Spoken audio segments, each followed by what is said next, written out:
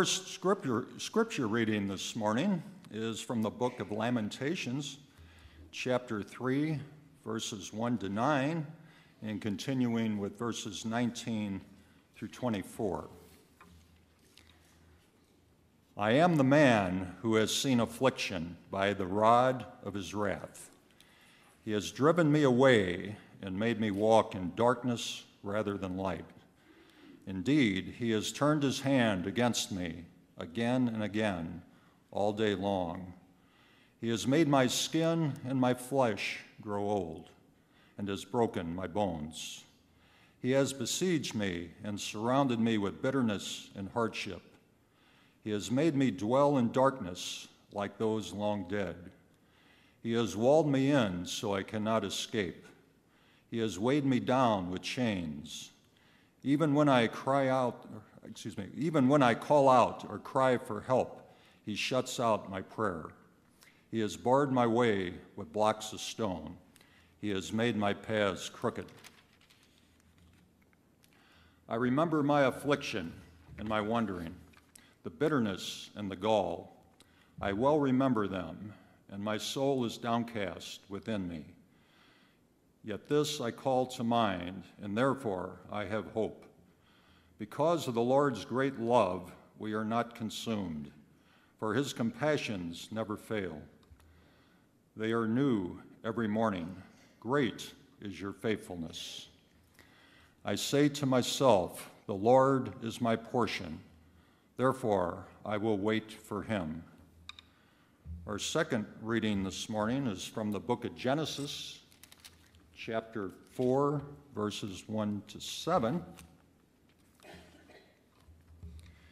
Adam lay with his wife Eve, and she became pregnant and gave birth to Cain. She said, With the help of the Lord, I have brought forth a man. Later, she gave birth to his brother Abel.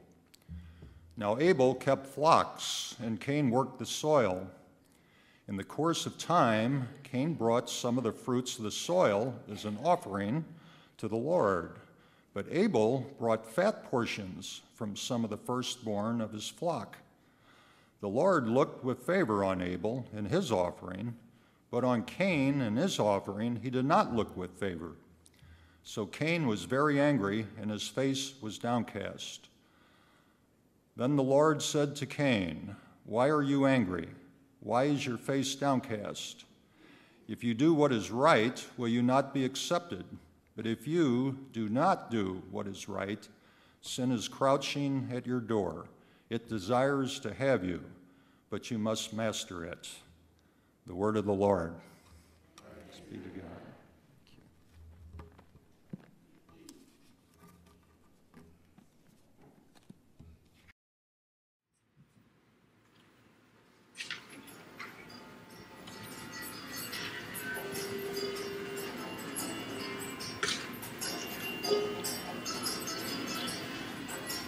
My name is Cain. I'm a wanderer. I don't know how my story will end, but I know how it began. In the beginning, my parents lived in a garden. It was beautiful. It had everything you could imagine. It was luscious, lovely. Everything you could ever want was provided. They had food, security, comfort. What my parents told me they enjoyed most was that God was with them all the time. And He gave them all this for free. There's no requirements, no obligations, no commands, save one. Do not eat of the tree of the knowledge of good and evil. For if you do, you will surely die. A very simple request. Anyone could eat up all the other foods and not that one, but no, no, no. God knew my parents wouldn't be able to resist. And He let them eat. So they were cast out of the garden, angels and fiery swords, and the land that they entered into was cursed. No longer did the ground yield up its fruits and vegetables for them thorns and thistles took over the paths. boulders and crags seemed to multiply, and the dark skies at night, which used to be a peace, became a terror. And the darkness, felt it deep in their hearts because they knew, they knew that when they tasted that fruit, they had discovered evil.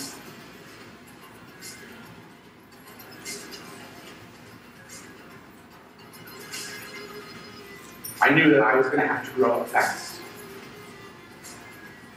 I knew that when I was born, I became a living, walking reminder of all that they had lost.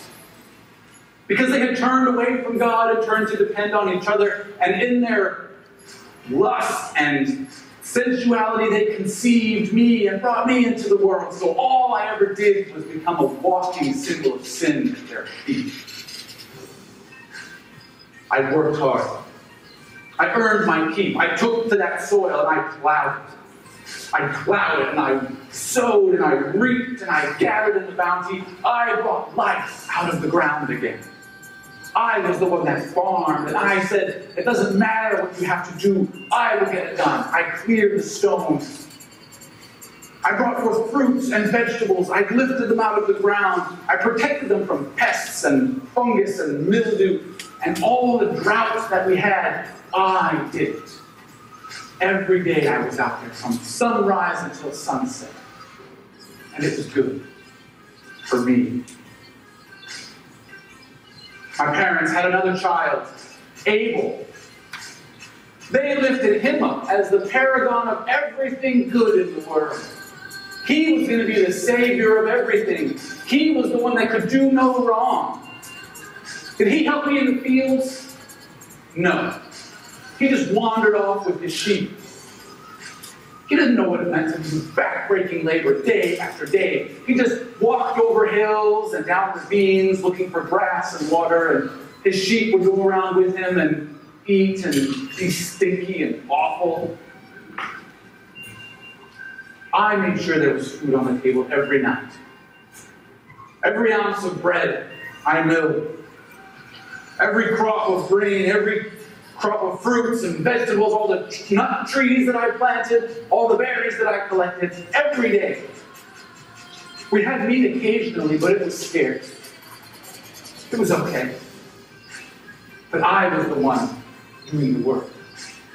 I was the one who was saving everyone. But you see, God wasn't with us much in those days. He came by occasionally, and one day he came by out of the blue and said he'd like an offering. You kicked my parents out of the Garden of Eden, and you cursed the ground that we walk on, and you haven't been around us lately, and now you want an offering. But how could I resist? To have a taste of what paradise would have been like. I wanted that. I wanted to know what it was like before my parents ruined everything. So I decided I would put together the most magnificent offering. It was going to be delicious. It was going to be beautiful. It was going to be a perfect paragon of all God had really intended for this ground, for this land. So I went and I spent days cultivating, pruning, and cooking just the right food at just the right time.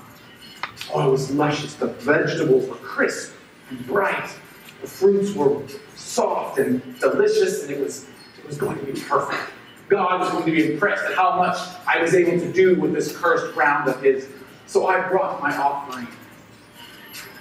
And Abel, poor pathetic sucker, he just killed a couple of his little sheep and brought them when I saw that bloody mess, I was like, why would God look on favor on this? What could God possibly want with this? Obviously, Abel was going to get cast out forever. This was not even a contest anymore. So we came and we sat down. And as we sat and as we waited, I saw Abel come down and poor baby, he started to cry. And I said, What's the matter, Abel? Are you regretting your offering?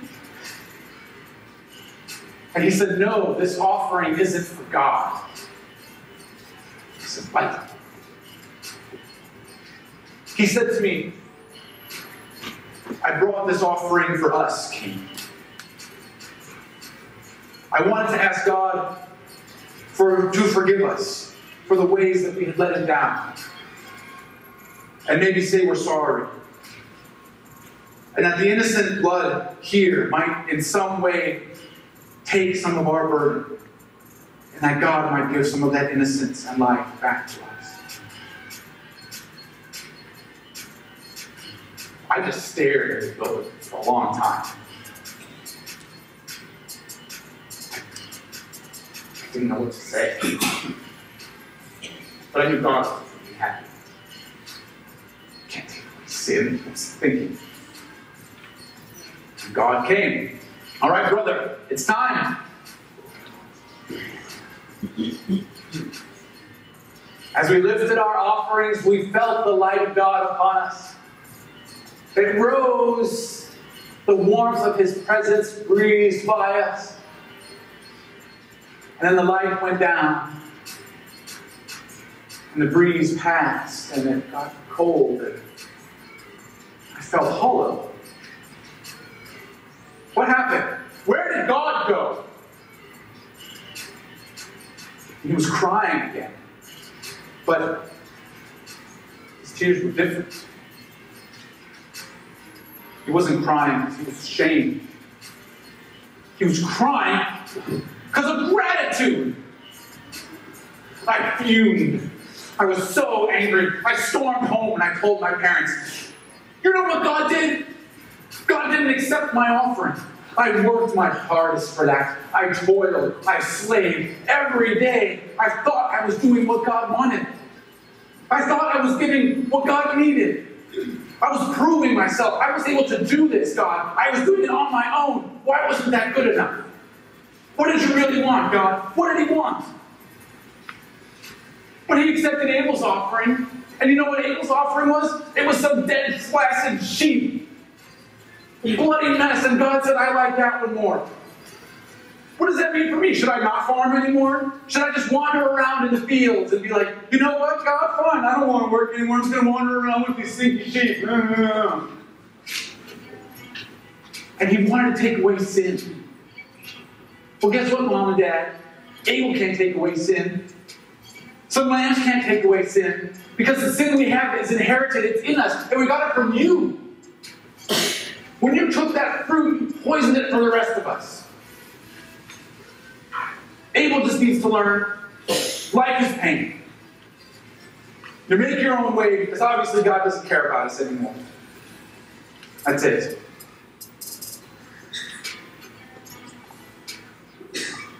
As I was walking, God came alongside me and I shrugged off his form. He said, Why is your face downcast? And why are you upset? I said, I'll tell you why I'm upset. Because you accepted Abel's offering over mine. You showed favor to him. You could have accepted my offering too. It was just as good from what I had done. Why was my work not good enough for you?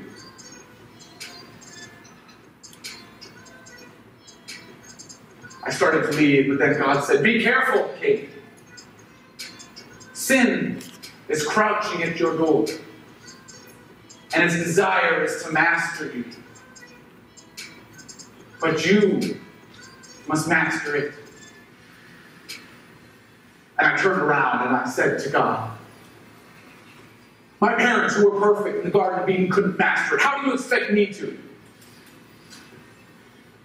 And I stormed off, and as I was storming, I saw Abel, so I grabbed him. I said, Let's go out to the field. We're taking a walk. And we walked. And a part of me really wanted to know why he brought that offering. What was it about that lamb that he brought? Was there something that I missed that God really wanted? But the more he talked, the farther away from God I felt. Every time he said how grateful he was that God accepted his offering, it just made my blood boil. Every time he talked about what he was going to do next, it just made my face feel like it was daggers, and I didn't know what to do anymore. Just like I was so angry and jealous, and then I didn't know what happened. And then something inside me just snapped.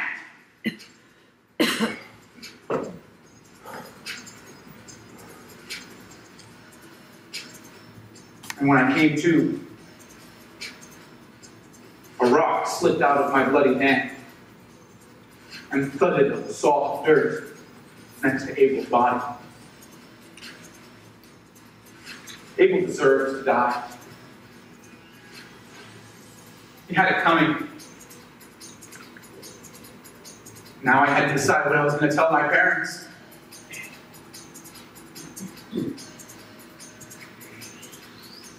God came and found me again, and I just didn't want to hear it. He said, Where is your brother Abel? And I said, I don't know. Am I my brother's keeper now? And God said, What have you done, Cain? Your brother's blood cries out to me from the ground. You are cursed from the ground that opened up its mouth to receive your brother's blood from your hand. No longer will the ground yield up any more crops for you ever. You will be the wanderer, cursed on the face of the earth. No. No. You cast me out of your presence, but I can't not work. What am I supposed to do? I'm just going to wander around some, whoever sees me on the road is going to kill me. How long is this going to, what am I going to do? God, but God said, you don't have to worry about anyone killing you. For I will put my mark on you. That anyone who harms you will suffer a sevenfold vengeance.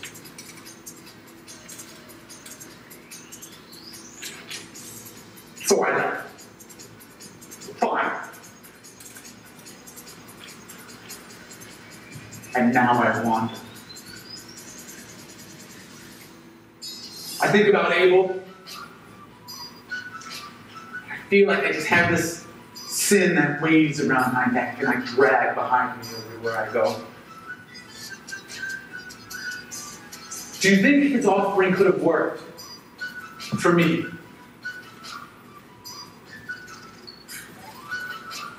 Or did God always know this was the way it was going to end? Does God have some other spiteful plan for me to end all of this mess that He started? And the words of Abel come back to me. Pathetic and weak as he was, he was like he couldn't deal with the hardships of life. I can deal with the hardships of life. Hardships I brought about myself. Hardships that could have been avoided. But hardships that haunt my every step. Abel said, The weight of sin is heavy upon me, brother, as I see it weighs upon you. We cannot bear the weight of sin on our own.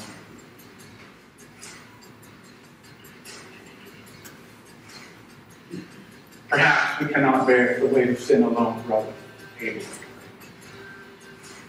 Perhaps not. Perhaps not.